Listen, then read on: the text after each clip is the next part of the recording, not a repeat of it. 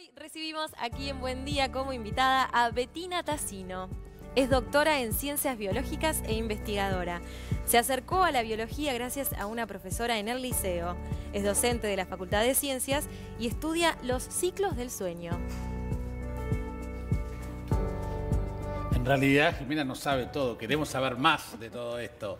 Bienvenida. Muchas gracias por la invitación. Qué importante fue el liceo entonces, ¿eh? Sí, totalmente, totalmente. Eh, fui al Liceo Bausá, también fui a la escuela pública y allí, eh, como decía Jimena recién, eh, una profesora fue muy inspiradora en la elección de, no tanto del camino científico, sino de que me gustaba la biología.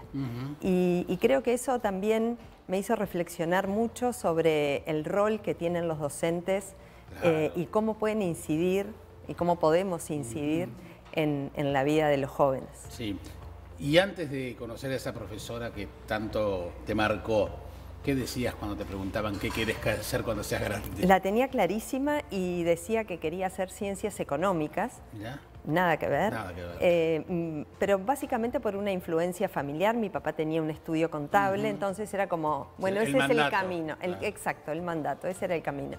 Y, ahí en bachillerato fue que, hice ese cambio y bueno, fue como bastante movilizador, ¿no?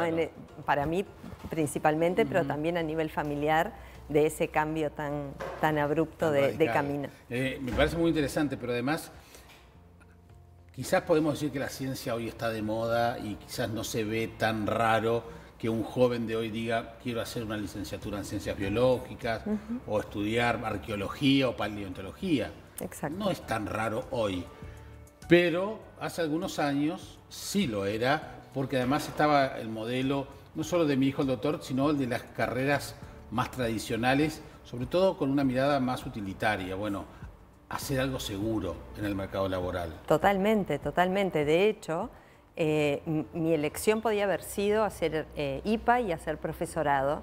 Sin embargo, elegí, y, no tengo muy claro por qué, elegí entrar en la facultad que en ese momento era de humanidades y ciencias. Todavía no se había separado humanidades de ciencias. Qué era eso, ¿no?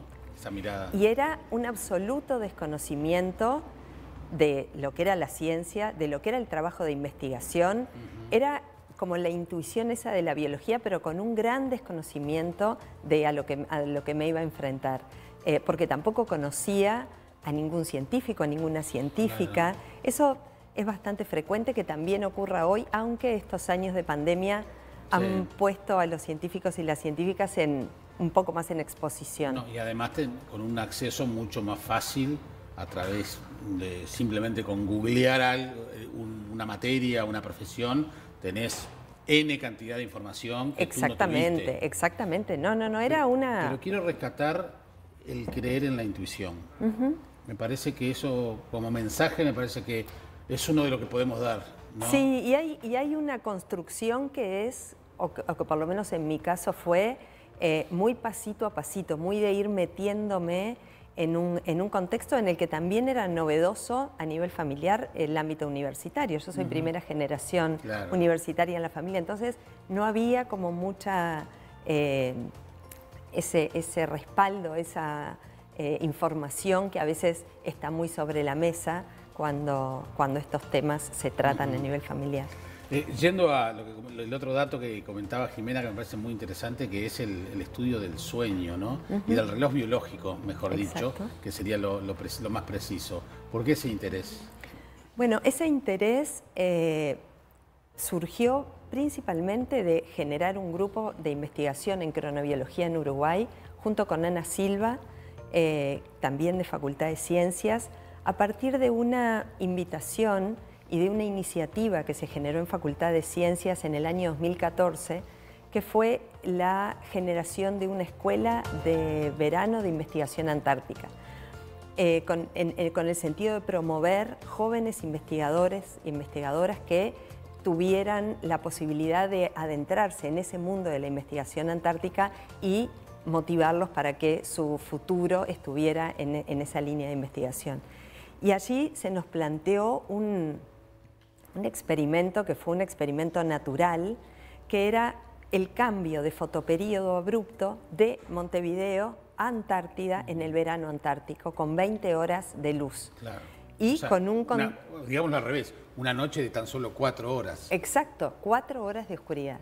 Y en ese contexto teníamos un experimento servido que Claro. era ese traslado de ese contingente de estudiantes de Montevideo a Antártida y some- sometidos a ese, a ese cambio abrupto de luz. Hay una película que creo que, que es este Al Pacino, ¿no? Exacto. Insomnio. Sí, con Robin Williams. Con Robin Williams que hace de malo esa película. Esa película muestra exactamente eso, el impacto que tiene. No recuerdo en qué país está. Es- Está, creo que está en Alaska. En- ahí va, está en Alaska. Y, y claro, sol todo el día, sol todo el día, no puede dormir. No puede. Se desespera literalmente. Empieza a alucinar, Exacto. ¿no? O sea, esas son O sea, eso demuestra la importancia de la noche. ¿Por qué im- dormimos de noche? Exactamente, eso muestra la importancia de la noche y la importancia de la privación de sueño, o sea, la importancia del sueño y las consecuencias que tiene ese efecto de privación de sueño sobre nuestro cerebro. Hay, hay dos conclusiones. Primero, el dormir cruzado no es lo más saludable. Yo, sé, yo conozco escritores, artistas plásticos que al revés, para ellos el momento de, de mayor creatividad dicen que es la noche, entonces trabajan de noche y duermen de día. Será muy bueno, pero biológicamente no es lo más recomendable.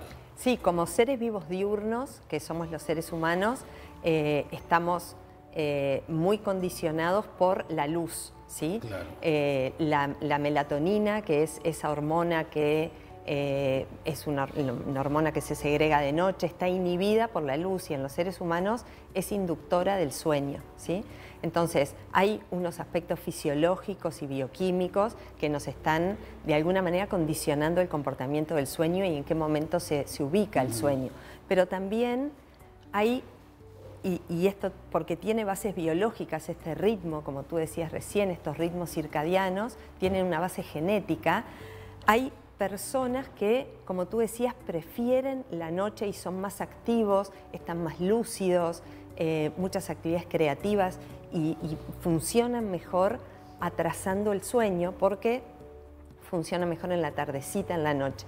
Esas son eh, en, en un continuo, ¿no? lo que llamamos personas que son más nocturnas, más vespertinas o más búhos. ¿sí? Y frente, eh, en el otro extremo están personas que funcionan muy bien de mañana, que se despiertan muy temprano en la mañana sin, sin alarma y que están muy lúcidas también y muy dispuestas a hacer actividad física, por ejemplo. Y a eso le llamamos alondras, ¿no? En- entre esos dos extremos están la mayoría de, o estamos la mayoría Claro. de, las, de las personas. Y después el otro punto es el el del reloj biológico. Yo que desde hace 40 años me levanto entre las 3 y las 4 de la mañana, no necesito ningún despertador para seguir levantándome, aunque no lo requiera un domingo, por lo menos despertarme a la misma hora. ¿no? Entonces, como el cuerpo, no sé si llamarle memoria o qué, pero Sí, hay un- una cuestión del hábito que tiene que ver también con ubicar el sueño para tener la suficiente cantidad de horas de sueño para que te puedas levantar, por ejemplo, a las 4 de la ¿y mañana. qué tan importante es que eso funcione? ¿Es, bueno o es mejor eh, tener una regularidad? por Sí, la regularidad es muy importante. La regularidad en- para el ajuste del reloj biológico es muy importante. Hay eh, como, como tres parámetros, digamos, que miden la- la- un sueño saludable, que son una buena eh, duración, una adecuada duración, la regularidad y una buena calidad. ¿no? Con esos parámetros se, se ajusta ese sueño saludable. Obviamente que esas ocho horas de sueño recomendadas en general muy, hoy en día es muy difícil que se cumpla. En general los adultos no, No. cumplimos con esas ocho horas de sueño recomendadas y los adolescentes menos. Eh, me regalaron un reloj que por suerte se rompió, pero durante el, el tiempo que lo tuve activo, eh, una aplicación me marcaba Ajá. la actividad, cuánto dormí, me marcaba qué momentos de sueño profundo tuve. O sea, cómo exacto, por a través sí. del pulso el Sí. bicho se da cuenta de eso, Sí. se daba cuenta de la siesta, cuándo fue la siesta, y dije, todo eso a través de, la- de- de- de las pulsaciones. Sí, sí, y también eso genera en muchas personas una obsesión Bueno, o dije, una por suerte se atención. por suerte se rompió porque me decía que yo no pasaba las cinco horas de sueño. Claro, claro, Digo, claro. Una cosa es Y una cosa la es que lo sepas y- otra cosa ver el número. Exacto, exacto, exacto. En general hay algunos eh, desajustes que, que tienen que ver con algunas patologías que están asociadas al déficit de sueño y más que nada a la desincronización, a eso de ubicar el sueño en momentos en que no deberíamos estar durmiendo o al menos que nuestra preferencia circadiana nos indica. Eso es frecuente en estas sociedades de funcionamiento 24/7. Muchas personas trabajan en distintos, en distintos turnos, trabajan en turnos nocturnos. El teletrabajo, cuando los, los horarios de, de, la casa matriz, por decirle algo, es el horario europeo, por exacto, ejemplo. Exacto, exacto, exacto. cinco horas más adelante. Claro, o los turnos rotativos, por ejemplo. Personas que trabajan en, en Dos industrias. Horario, exacto, ¿no? Eso genera distorsiones, distorsiones, distorsiones que a la larga pueden llegar, y eso obviamente que tiene que ver con, la individualidad, pueden llegar a tener consecuencias en la salud. Eh, si bien sabemos, yo justo dio la casualidad que le decía al doctor Nogueira que hiciera alguna columna vinculada a la importancia de la siesta. Sabemos que es importante la siesta, pero para el cuerpo, para ese reloj biológico, eh, ¿Lo desorienta que haya una siesta? No, eh, el sueño tiene dos componentes, o sea, se regula por dos componentes. Uno que es este componente circadiano que tiene que ver con la luz y la oscuridad, el día y la noche. Y otro que es el componente homeostático, que tiene que ver con el tiempo que cuánto tiempo estamos en vigilia, eso es algo así como que acumula presión de sueño. Cuanto más nos, nos despegamos de la vigilia, más sueño tenemos. La siesta eh, y hay bastantes estudios últimamente que muestran que la siesta, las siestas cortas, de aproximadamente 20, 30 minutos son muy reparadoras. Hay algunos estudios inclusive con deportistas que muestran cómo las siestas regulares mejoran la performance en ejercicio físico, en rendimiento cardiovascular, por ejemplo, y también en rendimiento cognitivo. Hay unos investigaciones muy interesantes con niños y niñas escolares que muestran que después de dormir un ratito esos niños son capaces de retener mejor el contenido de asignaturas como ciencias o historia. Sí, hay gente que dice que 20 minutos es poco y que se despiertan de muy mal humor. Entonces arman todo como si fueran a, dormir, de noche, ¿no? Sí. Que tampoco ustedes lo recomiendan eso. Sí, sí, en general esas siestas eh, demasiado largas complican, la, complican muchas veces por justamente esa presión de sueño. Tener una siesta larga hace que después a la noche se haya disminuido esa presión de sueño y cueste más conciliar el sueño a la noche. No, no solemos, este, la, gente en general no solemos tener, tener claro que el, sueño es un factor que, o el descanso que, está directamente vinculado a la salud. Exactamente, hay...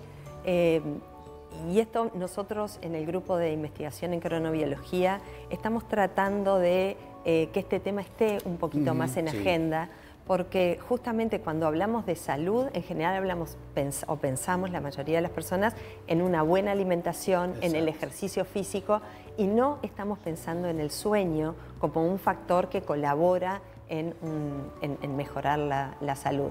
En, esos, en ese sentido, en la ubicación, en la duración, en la regularidad. La vamos a seguir, Betina.